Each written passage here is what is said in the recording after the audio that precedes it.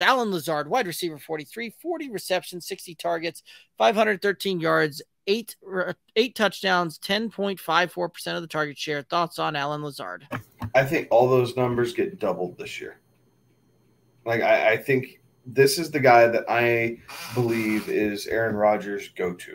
So I think that's probably 80 receptions. We're not going to see 120 or anything like what Davante Adams did, but 80 receptions on 110 targets, 120 targets, something like that, and somewhere in the neighborhood of you know 12 to 15 touchdowns. Like he has to be the one to step up, and right now he is at such a discount in redraft leagues that he is an absolute must-have if you are drafting today as far as getting a wide receiver that late in the draft with a ceiling of top 10 potential just because of who his quarterback is. So, um, you know, he is my sleeper of the season based off of where he's being drafted at.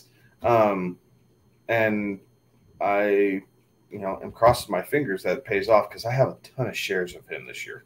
Yeah, I mean, Allen Lazard coming off the board, wide receiver 47, 113th overall. So he's that 10th round guy. And, you know, I mentioned it a little bit ago when we were talking about Russell Gage that you know, I don't see Russell Gage being the Michael Pittman type of wide receiver that you can get in the 10th round and and see what happens there. Uh Allen Lazard very well could be. And it's it was funny. You're reading off kind of where you're seeing him go through and and all of that. And um, yeah, I've done some of my early projections on this one. I saw I have I've Allen Lazard uh, charted out at 78 receptions, 113 targets for 1,017 yards. I'm not as bullish as you are with the touchdowns. I've got him in that seven to eight kind of touchdown range there, but I think he will absolutely return value for you. And I think that you know drafting Allen Lazard in the 10th round just kind of a smart move for fantasy there.